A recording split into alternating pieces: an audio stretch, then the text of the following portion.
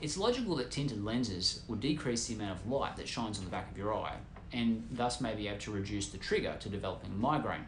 However, what's so special about FL41? What makes them different from regular sunglasses? FL41 tint is different from many other tints as it provides higher transmittance of light at sections of the spectrum closer to our short wavelength retinal cones. So we have these photoreceptors in the back of their eyes called cones, which are responsible for picking up light in detail.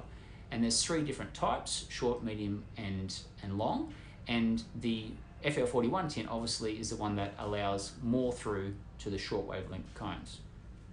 Grey tints, on the other hand, provide the opposite.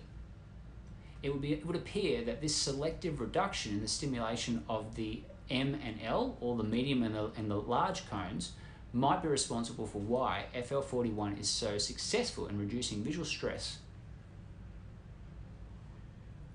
In summary, I regard FL41 as just another tool that I have to address patients' problems with light sensitivity and visual stress. So while it might not be appropriate for everyone, I feel it's important for our patients to know all their options. Check out our YouTube channel to see the full series and learn more about this topic. Thanks for watching.